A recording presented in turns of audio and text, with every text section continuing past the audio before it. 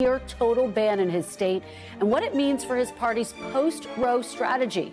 You're watching Meet the Press now. Stay with us.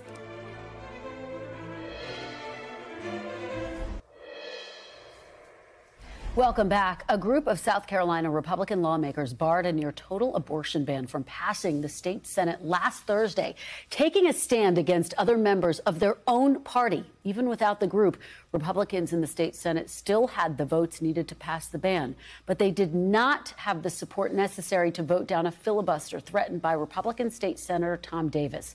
Davis said the bail, bill failed to balance women's bodily autonomy and the rights of the fetus and promised his daughters he would take that action. Listen to what he said. I have a 28 year old daughter, a 22 year old daughter, and a 17 year old daughter. And they'd say to me with one voice, Dad, you aren't going to let this happen, are you? You're not going to let this happen.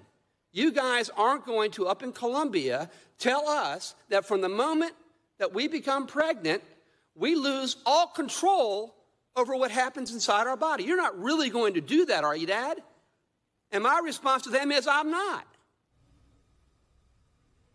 Divisions on the issue of abortion have become pronounced within the Republican Party in recent weeks. Some Republicans feel the hardline restrictive stance the party has taken is out of touch with voters' reactions to this summer's Supreme Court ruling, softening their message before the midterms. I am joined now by Republican State Senator from South Carolina, Tom Davis.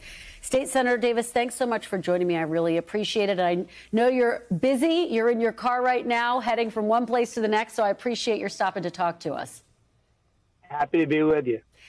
Let's pick up on that impassioned speech that you delivered, if we can. You said you promised your daughters you would not vote for that near total ban. Can you walk me through what the decision making process was like for you? I mean, absolutely. I mean, when you think about the bill that was before us, it would have banned abortions from the time of conception. Um, so essentially, what you're saying is, you know, once a sperm fertilizes an egg, a woman loses all autonomy over her body um, altogether. Um, I just do not believe that is a reasonable balancing of the rights that are involved here. And, and there are more than just one right involved. It's not just the right of the unborn child to be born, there's also the right of the woman to autonomy over her body. So you have two rights, each deserving of respect. Um, they obviously conflict with each other. And so, what I think our job is as a legislature was to balance those competing rights, to to look at that right of a woman to autonomy of her body and balance it against the right of the unborn child to be born. And and for me, um, I think there ought to be deference paid to the woman at the beginning of the pregnancy, and then as you move along to term throughout the nine months. I mean, gradually, I think the, that right yields to the right of the unborn child to be born. But I just cannot subscribe to this notion that once the sperm fertilizes an egg, that a woman loses all control over her body. I don't mm. think that's a reasonable balancing of the respective rights. Well, you were joined by four other Republican lawmakers. Three of them were women who voted against this ban. But as you have said, I mean, there is a divide within your party. There was a divide within your own state legislature. How consequential do you think this divide is?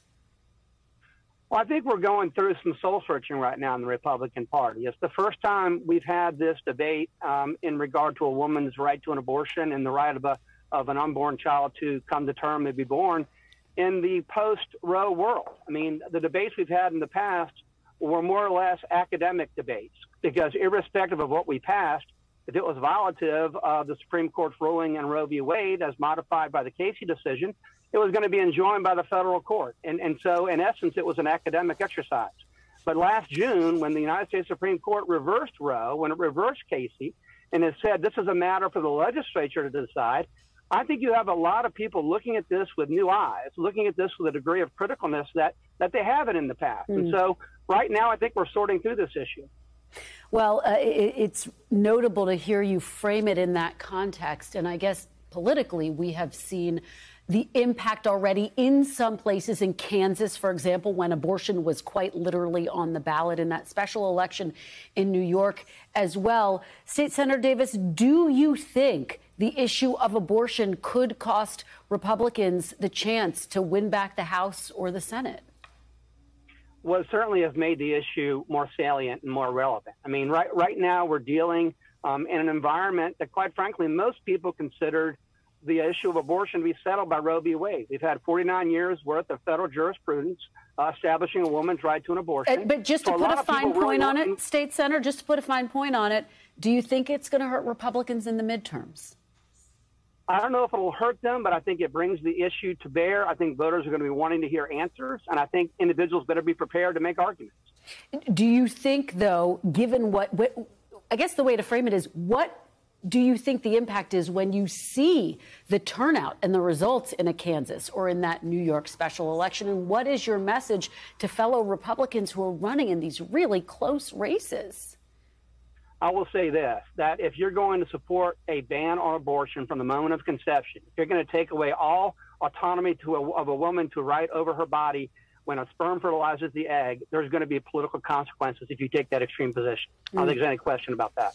And, you know, it's notable because as you were walking through how you came to this conclusion, you talked about the fact that as the pregnancy goes on, it is your belief that ultimately you then have to take the rights of the fetus into greater consideration. And I wonder where you think that line stands. Right now, obviously, it's a bit murky in your state what will happen in the long term. Right now, I believe the law, uh, the current law stops abortion access at 20 weeks, but there is an effort underway to stop it at six weeks, to impose a six week trigger ban. Where do you stand? Would you support that six week ban?